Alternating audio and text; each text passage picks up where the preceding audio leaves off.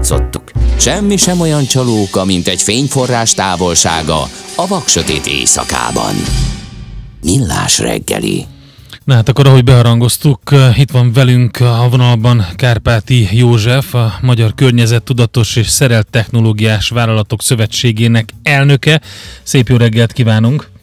Szép jó reggelt kívánok! Jó volt ez a laza zene, ilyen jó a hangulatunk most, hogy felragyogott az 5%-os napnak az áfája, és úgyhogy nagyon szép idő vár ránk.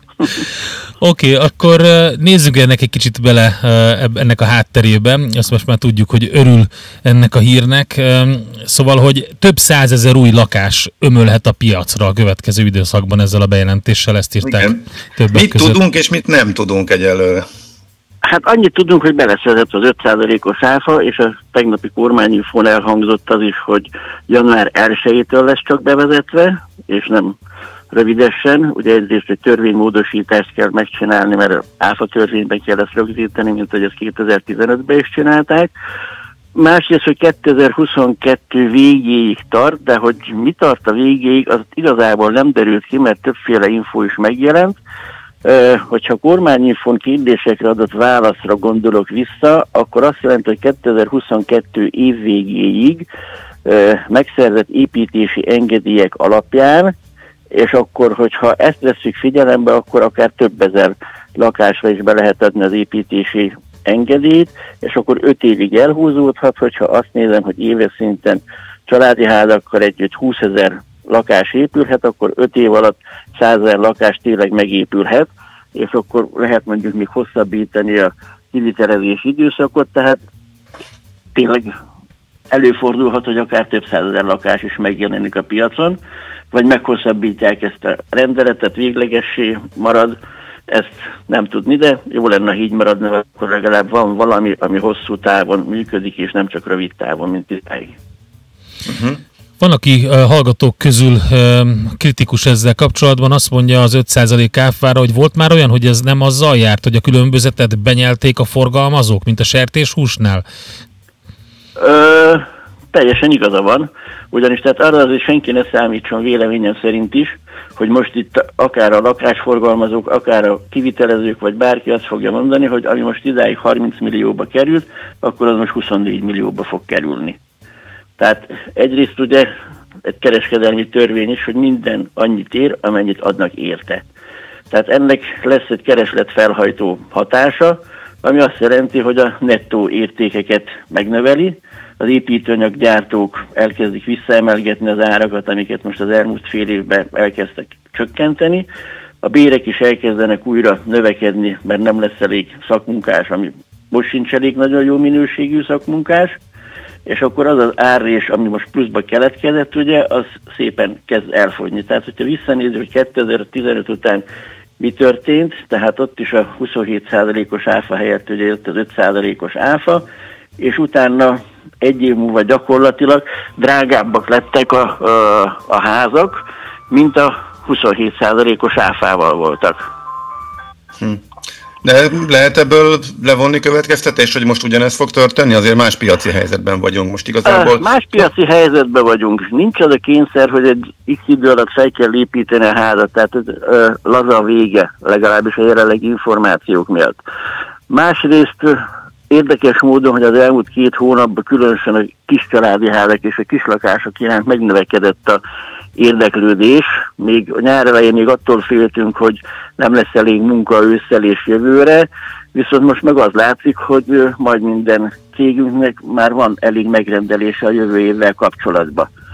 Uh, és akkor, hogy De most ez nem hirtelen, az, nem, nem hirtelen az áfa csökkentés miatt történt, ez nem, már nem, nem, nem, nem. dolog. Ez, és ez már előtte, és én, én ezt úgy érzékeltem, ez a Covid-nak a uh, hozatala, mert tavasszal a visszaesés nem lehetett a Covid számlájára írni, az inkább a megemelkedett 27%-os áfa miatt azt mondta a vevő, hogy hát még 5-6-10, meg hát ki mekkora házat, 20 millióval többet nem fog fizetni egy házért, hanem keresek valami más megoldást.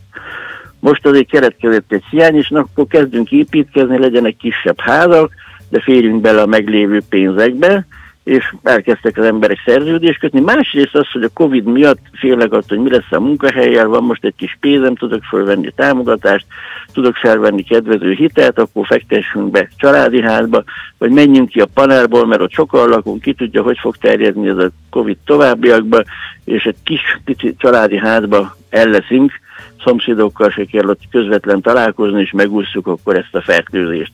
Tehát én úgy gondolom, hogy a elmúlt két hónapban jelentkezett plusz igények, amik váratlanul megjelentek, még statisztikában ezek nem látszanak, ezek ez miatt következtek be.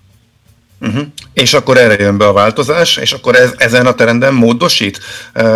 Vagy lesz visszaáramlás, Még. hogy akkor mégis a nagyobb tehát, irányába, emiatt, hogy esetleg egy picivel olcsóbb lesz? Vagy mégis mire számíthatunk? Egy, egyrészt ugye az 50 négyzetméteres családi ház nem egy túl nagy méret.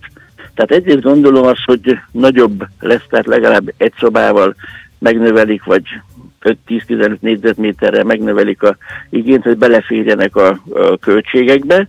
Másrészt pedig vagy az energiahatékonyságra, környezettudatosságra költenek, azt mondja, hogy jó, akkor nem csak egy kis nap, mert ugye most már jövőre napelemet vagy valami megújuló energiaforrás mindenképpen kell alkalmazni január 1-től, hogy akkor nem 25%-ba, hanem 100%-ba napelemet teszek fel, hisz ebbe a megmaradt költségbe bele fog férni, és akkor a közműdíjak nem fognak megjelenni az elkövetkezendő években, és az is jó dolog, ha a postás nem hozza a sárga csekket. Uh-huh. Oké. Okay. Mi az, amit még szeretnének, vagy mi lenne jó, hogyha a részleteket ismer, megismerhetjük, majd kiderülne? Gondolom, az, az mindig fölmerül, hogy hát ez a két év, ez, ez, ez, ez szép, de nem annyira tervezhető. Lehetne hosszabb is, vagy, vagy mit tehetné, mi, mire lehetne azt elérni, hogy nem össze-vissza változik a piac fél évente, hogy csináljuk, visszacsináljuk, újra megcsináljuk, stb.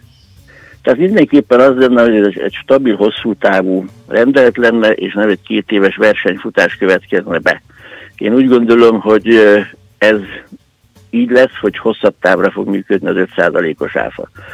Ami problémásnak érzek, hogy a megkezdett építkezésekkel mi lesz, azt az információt kaptam, hogy a megkezdett építkezésekre is e, érvényes lesz, de január 1-től. Na most a ügyfelek már szerda este elkezdtek telefonálgatni, de tegnap aztán mondják a kollégák, hogy folyamatosan csörgött a telefon, hogy akik építkeznek most, hogy állítsák le az építkezést, majd amikor kijön a törvény, és lehet látni, hogy kinek jó ez a dolog, akkor folytassák az építkezést, illetve akik szerződéskötés előtt álltak, hogy az elkövetkezendő napokban szerződést írnak alá kivitelezésre, azt mondták, hogy ácsi, majd ha kijön a törvény, akkor számoljuk újra a házat, és majd akkor kötnek szerződést.